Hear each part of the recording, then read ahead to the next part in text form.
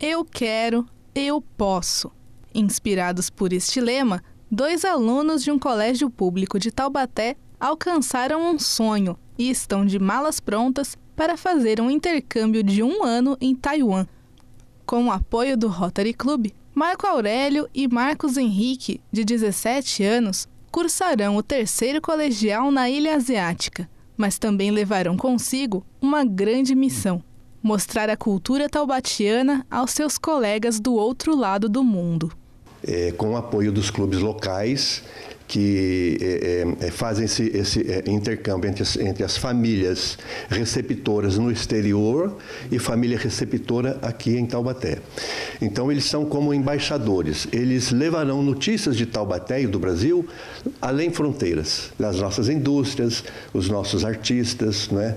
O, nós somos é, é, capital nacional da literatura infantil, isso é muito importante. Nós temos artistas, nós temos muitas indústrias, né? um parque é, industrial invejável, né? uma população muito boa, muito bacana, gente muito trabalhadora.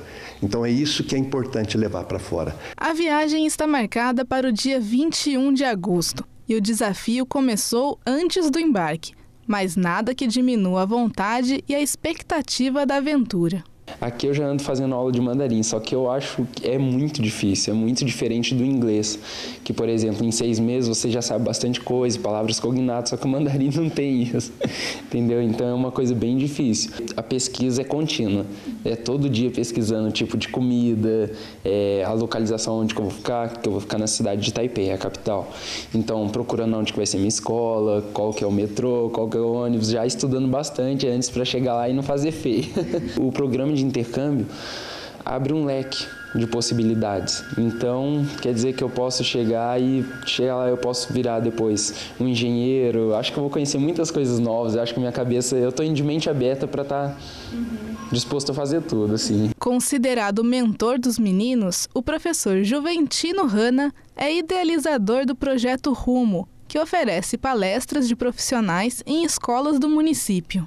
Eu procuro fazer a minha parte, porque nós temos que fazer a nossa parte para mudar o mundo, né?